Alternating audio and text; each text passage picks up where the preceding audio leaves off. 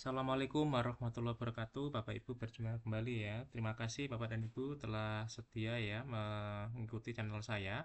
Kali ini saya akan berbagi informasi terkait dengan lokakarya orientasi Bapak Ibu ya. Bapak Ibu yang saat ini di CGP Angkatan 10 Sebentar lagi akan melaksanakan lokakarya orientasi. Bapak Ibu di lokakarya orientasi nanti ini Salah satu kegiatannya adalah kesepakatan kelas ya. Jadi nanti di dalam lokakarya orientasi itu yang pertama adalah ada pembukaan ya, kemudian games perkenalan diri ya nanti akan dipandu oleh pengajar praktek. Dan yang ketiga adalah kesepakatan kelas yaitu membangun kesepakatan kelas selama lokakarya Bapak Ibu ini waktunya adalah 15 menit ya. Nah kira-kira kesepakatan kelas seperti apa yang akan e, didorong ya atau yang akan diinginkan ya? Bapak Ibu di sini sudah ada ya informasi terkait dengan kegiatan e, kesepakatan kelas. Jadi di sini ada informasi bahwa CGP nanti itu ya tujuan sesinya adalah calon guru penggerak dapat menyepakati kesepakatan kelas.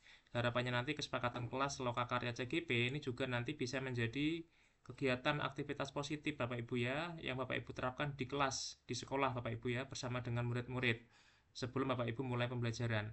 Kemudian calon guru penggerak dapat bertanggung jawab dan menjalani kesepakatan selama sesi berlangsung nanti akan ada perlengkapan yaitu kertas plano, papan plano, spedal ukuran 500 ya, warna hitam dan merah.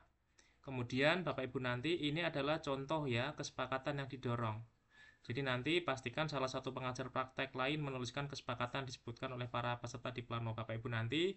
Karena ini sifatnya adalah pleno, maka nanti akan dibagi tugas ya oleh pengajar praktek siapa yang akan menulis eh, hasil kesepakatan kelas tadi itu di kertas plano.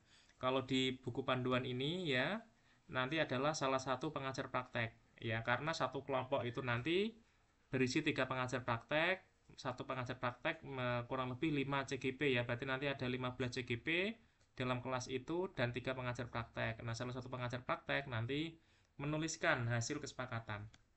Nah Bapak Ibu kesepakatan yang didorong ini adalah contohnya ya. Ini contoh saja Bapak Ibu ya hadir tepat waktu ya, kemudian berpartisipasi aktif dalam diskusi, menghargai pendapat peserta lain ya, semua pendapat dan pertanyaan berharga.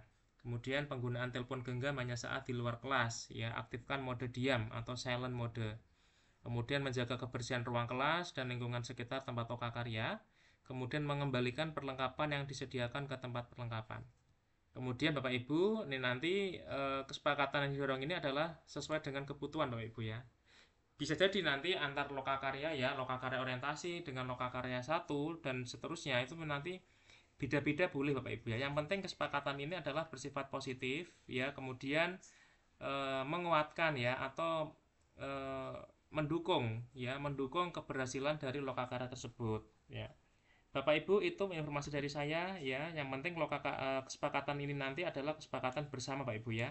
Dibuat bersama-sama kemudian ditaati bersama-sama Bapak Ibu itu informasi dari saya. Semoga bermanfaat ya. Jangan lupa like dan subscribe Bapak Ibu. Klik loncengnya biar tidak ketinggalan video terbaru dari saya. Terima kasih. Wassalamualaikum warahmatullahi wabarakatuh